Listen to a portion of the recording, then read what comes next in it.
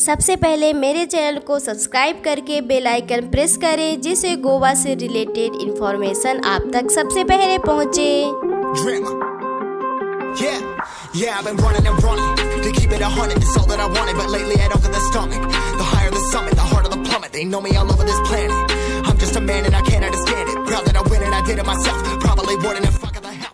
इस वीडियो में आपको गोवा की हॉस्टल लाइफ क्या टूरिस्ट हॉस्टल में रहते हैं? हॉस्टल में क्या फैसिलिटी होती हैं? और हॉस्टल वाले आपको क्या प्रोवाइड कराते हैं?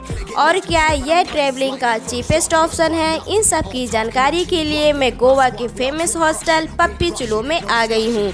तो वीडियो को लास्ट तक ज़रूर देखना, जिससे कोई भी इंफॉर्मेशन मिस ना हो।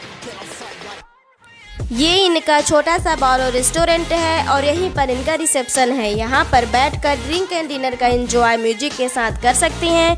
ये सामने जो दिख रहे हैं, ये डोमेट्री है, मीन्स रूम इन्हीं रूम में आपको रहना पड़ेगा। और एक रूम में कम से कम छः से सात लोग रहते हैं और अंदर एक ही वॉशरूम होता है। इनमें तीन ऑप्शन रहते हैं। केवल बॉयज़ केवल गर्ल्स और मिक्स रूम होते हैं। मिक्स रूम की प्राइस फिफ्टी रुपीज़ अधिक रहती है, जिसमें लड़के और लड़कियाँ रहते हैं।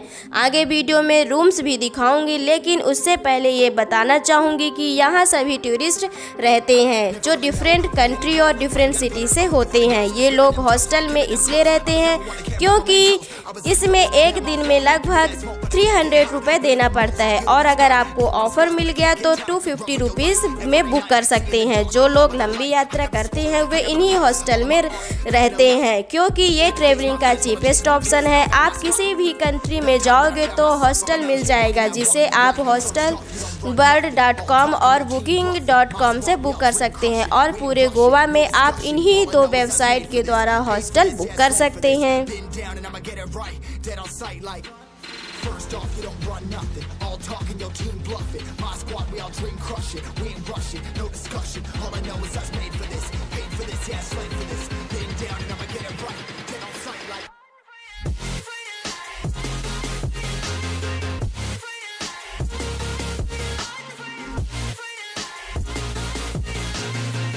down and I'ma get it right. Dead on sight like. जहाँ तक इनकी फ़ूड की क्वालिटी की बात की जाए तो कोई भी रेसिपी का टेस्ट एक फाइव स्टार होटल से कम नहीं है। आप देख ही सकते हैं पनीर मंचूरियन कितना अच्छा दिख रहा है। जहाँ तक प्राइस की बात की जाए तो थोड़ा कॉस्टली है, लेकिन अच्छा है। और वियर एंड सारी ड्रिंक्स की प्राइस शॉप से थोड़ा महँगी ही मिलेंगी। और ये बताना चाहूँगी कि हॉस्टल में बाहर से फ़ूड अलाउ नहीं है और ये लोग टॉवल प्रोवाइड नहीं करते हैं। अगर आपको टॉवल चाहिए तो हंड्रेड रुपीज़ पे करना पड़ेगा। आपके बेड के नीचे रैक होगा रखने के लिए जो वीडियो में आगे आपको देखने को मिल जाएगा। इन रैक्स में लॉक नहीं मिलेगा। अगर आप इनसे लॉक की रिक्वेस्ट करेंगे तो ये लोग आपको हंड्रेड रुपीज़ में लॉक देंगे। इसीलिए आप कभी भी हॉस्टल में जाते हो तो अपना टॉवेल और अपना लॉक ज़रूर कैरी करें, जिससे आपकी यात्रा कम से कम पैसे में पूरी हो जाए।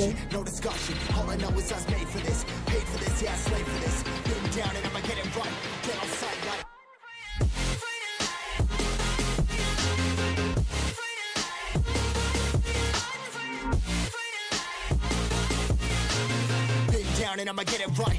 Get on sight like.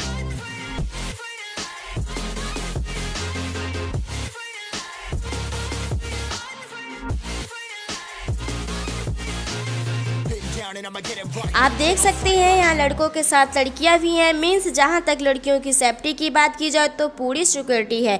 आप बिना डरे हुए इन हॉस्टल में रह सकते हैं। चलिए बेडरूम्स दिखाती हूँ कि बेडरूम्स कैसे दिखता है।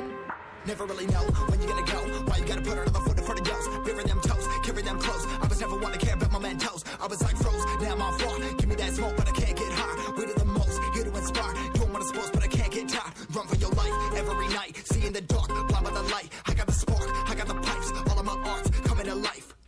Had to face my fears while I chased my peers, and I found my spot. About time that I found myself. I've been out here.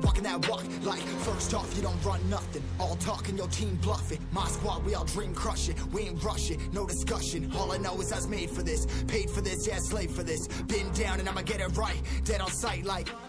First off, you don't run nothing. All talking, your team bluffing. My squad, we all dream crushing. We ain't rushing, no discussion. All I know is I was made for this. Paid for this, yeah, slave for this. Been आप देख सकते हैं ये bed है एक साथ दो दो बेड जॉइंट रहते हैं और ये सामने वॉशरूम दिख रहा है। ये सेवन पर्सन की मिक्स डोमेट्री है और नीचे रैक मिलता है, जिसमें से दोनों बेड के लिए अलग अलग रैक होते हैं। अगर मेरे से कुछ जानकारी मिस हो गई हो तो कमेंट करके ज़रूर बताना। Thank you thank you for watching bye bye